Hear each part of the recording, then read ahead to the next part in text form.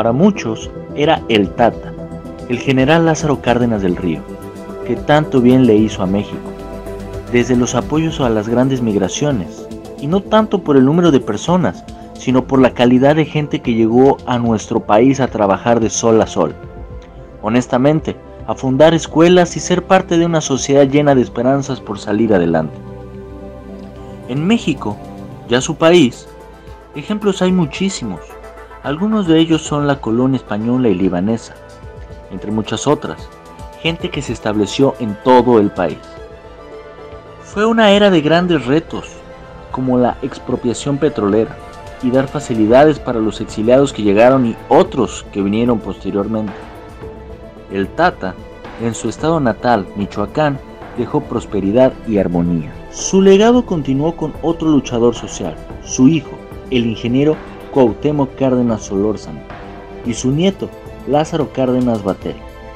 Este último también fue un político de un estilo amable y prudente, que no tuvo ni por mucho los problemas que sus predecesores dejarían, de pena y vergüenza en su actuación, llenos de eventos lamentables y de dejar un estado tan maravilloso en manos de grupos ajenos al bien común de la propia entidad.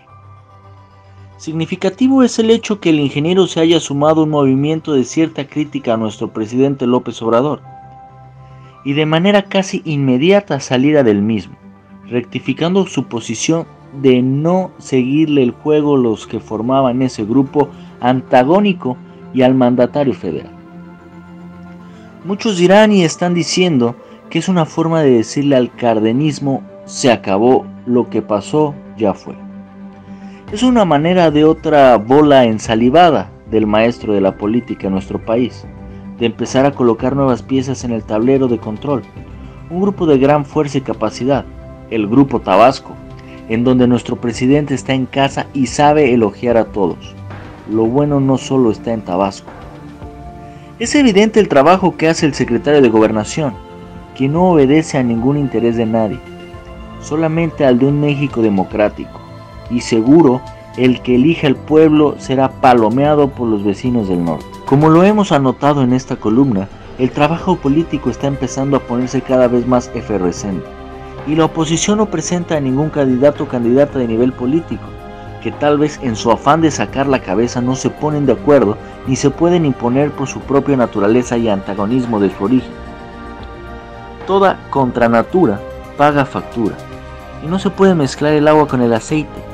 Aquí cada quien que ocupe su lugar de quién es el agua y quién es el aceite. Porque nadie de la oposición nace de una verdadera lucha social, con lo que el propio movimiento de Morena es su propia oposición y además de los escándalos de Segalmex u otros, serán una materia que deben resolver. Y se está resolviendo, porque nuestro presidente no es tapadera de nadie. No dejemos de ver los tejidos finos en los estados que son clave en las siguientes elecciones presidenciales. Estado de México, Coahuila, Ciudad de México, Veracruz, etc.